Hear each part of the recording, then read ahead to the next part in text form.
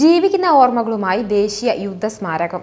കുത്തബ് മിനാറിൽ തുടങ്ങി ചെങ്കോട്ടയും ജമാ മസ്ജിദും ഹുമയൂണിന്റെ ശവകുടീരവും ഇന്ത്യ ഗേറ്റും ലോട്ടസ് ടെമ്പിളും ചാന്ദിനി ചൗക്കും രാഷ്ട്രപതി ഭവനുമൊക്കെ ഇവിടെ സന്ദർശകരെ കാത്ത് നിൽക്കുകയാണ്.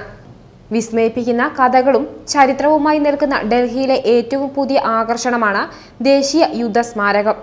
ഡൽഹി കാഴ്ചകളിൽ ഒരിക്കലും വിട്ടുകളയുവാൻ പാടില്ലാത്ത ഒരിടമായി വേഗം മാറിയ ദേശീയ യുദ്ധസ്മാരകം.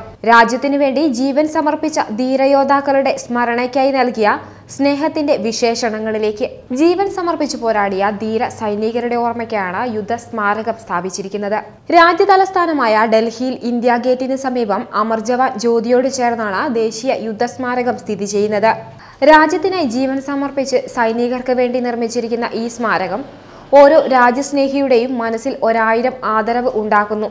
നാൽപ്പത് ഏക്കറോളം വരുന്ന സ്ഥലത്താണ് ഈ സ്മാരകം നിർമ്മിച്ചിരിക്കുന്നത്. ഇതിന്റെ നിർമ്മാണത്തിലും കാഴ്ചയിലും ഏറെ പ്രത്യേകതകളുണ്ട്. മഹാഭാരതത്തിലെ പ്രശസ്തമായ ചക്രവ്യൂഹത്തിന്റെ രൂപത്തോട് സമാനമാണ് ഇതിന്റെ രൂപകൽപ്പന. നാല് ചക്രങ്ങളാണ് ഇതിനുള്ളത്. സൈനികരുടെ പേരും റാങ്കും രജിസ്റ്റർ നമ്പറുമാണ് ഇവിടെ എഴുതപ്പെട്ടിരിക്കുന്നത്.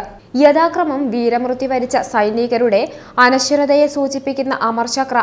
ജവാന്മാരുടെ ധീരതയെ സൂചിപ്പിക്കുന്ന വീർചക്ര.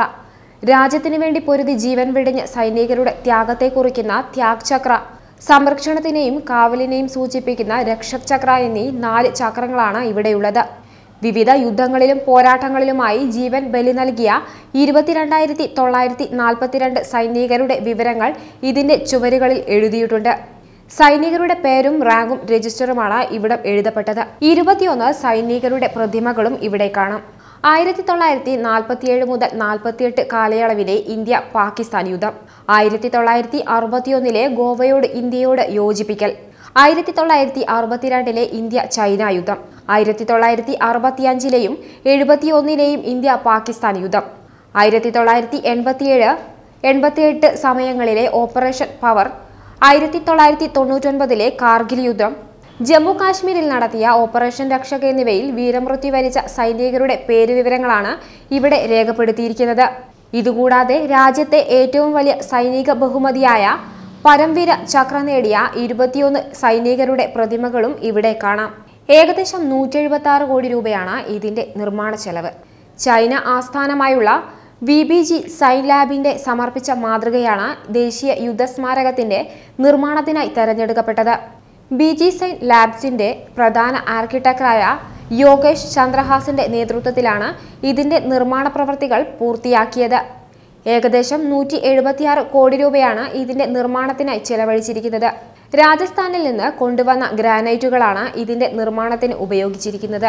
കേന്ദ്ര പ്രതിരോധ മന്ത്രാലയത്തിന്റെ കീഴിലാണ് മുഴുവൻ നിർമ്മാണ പ്രവൃത്തികളും നടന്നത്.